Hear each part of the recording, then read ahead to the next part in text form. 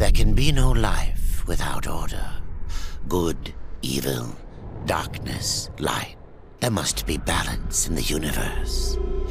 Such is the decree of the Charred Council, an ancient body charged by the Creator to preserve the very fabric of existence. But the balance has been broken. Even now, Earth smolders in ruin, fallen to the demon lords, and the Destroyer carves a new kingdom amongst his mighty chosen. Some say the Horsemen War triggered the apocalypse, that he rode to Earth unbidden and doomed all of mankind. But what of the other horsemen, fearless enforcers of the Council's will? What of fury, strife, and death? To know those names, you must first know another. Cursed union of angel and demon. The Nephilim had countless realms to serve and burned them to ash. But four amongst them grew weary of the slaughter and feared their conquest would imperil the balance. And so a truce was made. The four would serve the Council in exchange for unimaginable power. Thus were the dreaded horsemen formed. And the riders' first task was to purge their own brethren from creation, to annihilate the Nephilim and destroy their souls. Let us now cast our gaze to one amongst the four. Not War, who lies chained at the Council's feet, professing his innocence, but one who would save his brother above all else. He has many names Kinslayer, Executioner,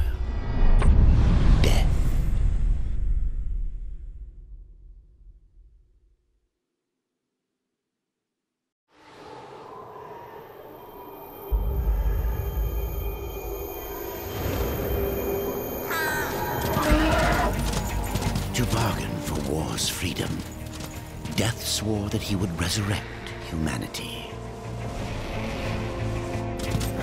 But he knew not how this might be done.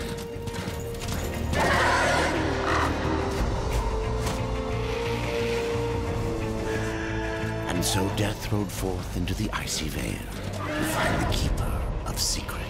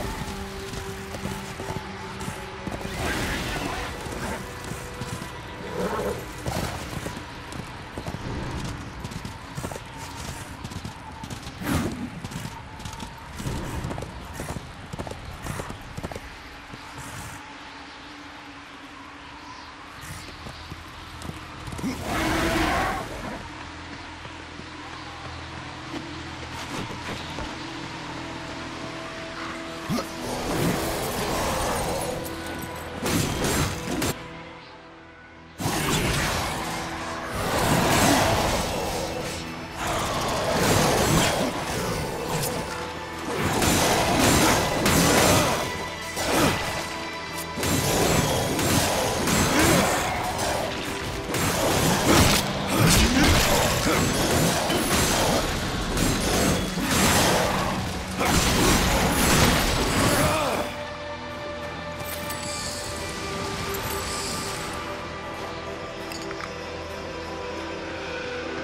What you can find.